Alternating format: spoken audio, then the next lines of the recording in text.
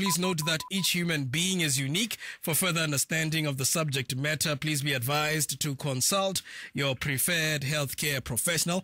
And uh, the conversation that we're getting into uh, this evening is quite interesting.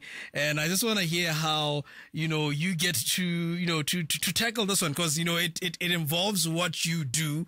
And uh, yeah, eh, yeah, it's, it's one of those things. Uh, we're talking uh, codependency, you know, uh, a situation where a person can be dependent on something overly too much. And in this case, we're talking therapy because I was asking myself, okay, does it happen? Is it a thing that actually gets to, uh, you know, to, to happen? And this also was just sparked by a conversation that I was having with, you know, with, with another person within your field. Uh, we're just having a conversation. I was just trying to find out. And, you know, then I was like, oh yeah, this is a very interesting thing to, to look at. So yeah, um, as a patient, uh, is there a situation where you as the therapist can pick up, or you know what? hey, I think here we have a problem in terms of, yes, I'm helping this person, but they tend to be a bit too dependent on the sessions that uh, we get to have. What's the situation? Yeah. Yes, uh, definitely that does happen. But I think before we get into uh, describing the scenario, we should first define what codependency is mm-hmm. uh, so that we have a proper grasp at uh, the issue that we're dealing with as we bring in the scenario. And yeah. basically, codependency is a situation where an individual's own emotions rely heavily on the emotions of other people or another person around them. And usually the reason for this happening is that a person wasn't taught, wasn't conditioned to understand the value of their own their own emotions.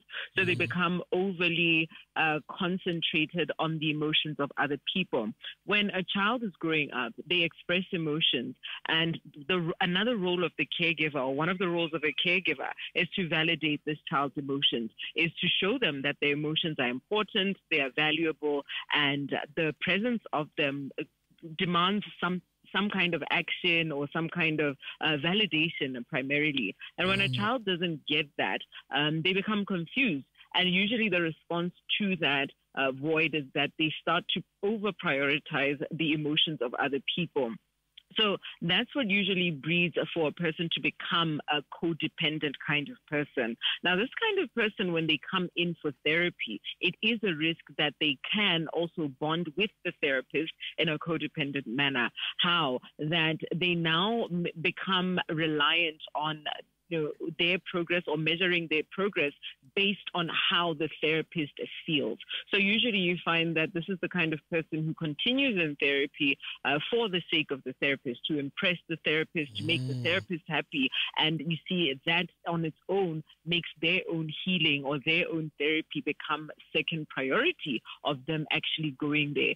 So the whole process then becomes undoing. Wow.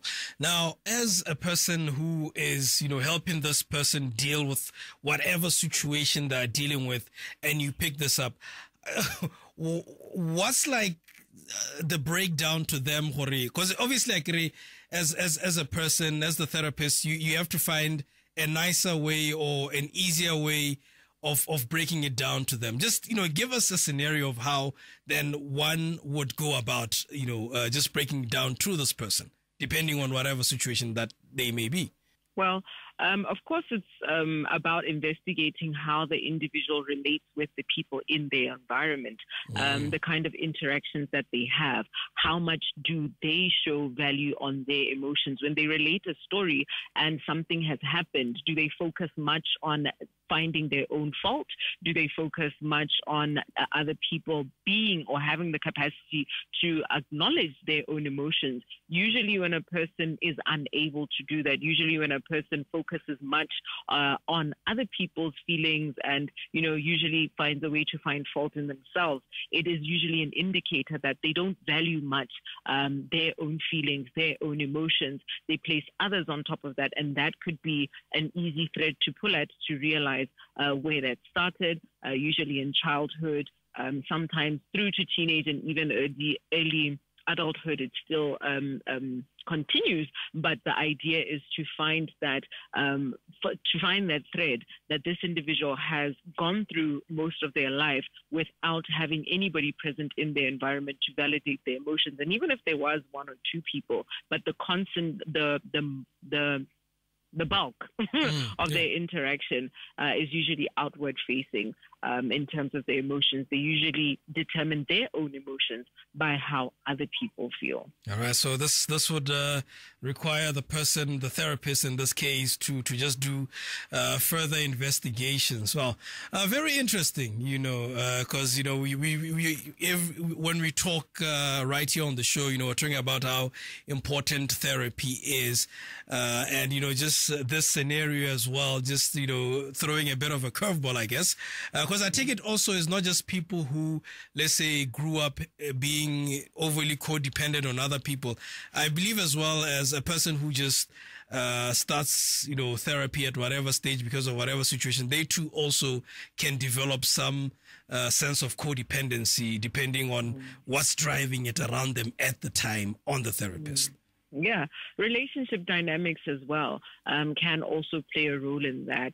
Uh, the quality of therapists, like you just mentioned, uh, can also play a role in that. Unfortunately, we do have certain therapists who validate the quality of their own work uh, by how heavily uh, their clients rely on them. But relationship dynamics as well have a critical role to play in this because some relationships are dysfunctional to the point where proving um, that they are that people uh, really care about each other or they're into the relationship um, they kind of overly rely on each other or their, their, their lives become in a way intertwined to the point where the individuals no longer have any sense of independence.